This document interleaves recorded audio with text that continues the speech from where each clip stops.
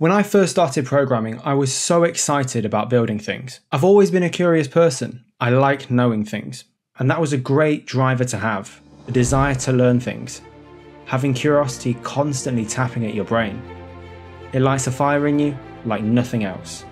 There was just one problem users didn't like my projects. Now, that's a very blanket statement to make. What I actually mean is that some users didn't like my ideas, some users didn't like the products when they were using them, and some users didn't understand how to use them. But when I first heard this feedback, I categorized it all as users didn't like my projects. Essentially, I closed the door to the opportunity to improve. And that's one of the biggest mistakes I've ever made, being ignorant to feedback. Now, I was ignorant, but I wasn't stupid.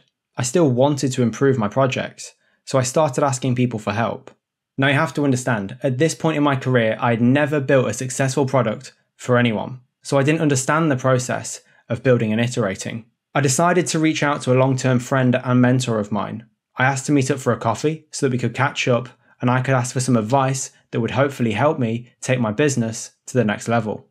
When I presented him with the problem, he answered it so simply Tom, you aren't thinking about your customers. When I first heard this, I was like, what? Of course I'm thinking about the customer. That's why I've built this product. I've identified their needs, but I was wrong. I wasn't thinking about the customer. I was thinking about what I thought the customer would want and then just enjoying the process of building things.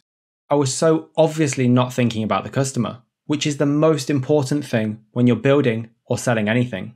Amazon famously defines its mission statement as being the world's most customer centric company. But the number one thing that has made us successful by far is obsessive compulsive focus on the customer. And when you look at how they build their products, it's very clear that the customer has been the center of attention throughout the entire design and development process. So, what were the steps that I took to shift my mindset to start thinking about the customer first? I had to completely change my thought process for building products.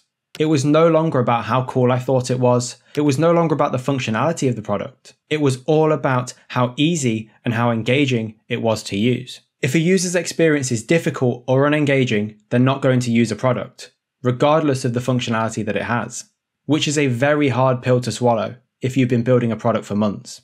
It's taken a while, but I'd say one of the most important skills that I have learned is the ability to solely think about the customer. And the easiest way to do it is treat everyone like they're stupid. First of all, I don't mean that in a rude way. If you start talking down to people, you're not going to make any friends. What I mean is that you shouldn't assume that users actually know what they want.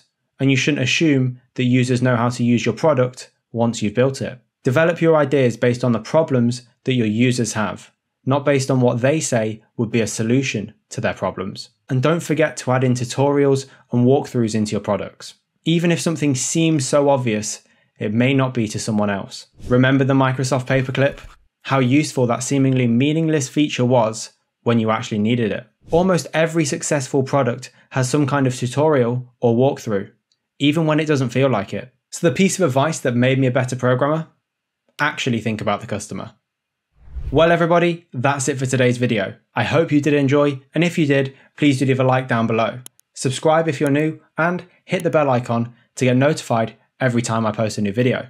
Thank you so much for watching, and I will see you in the next one. See ya.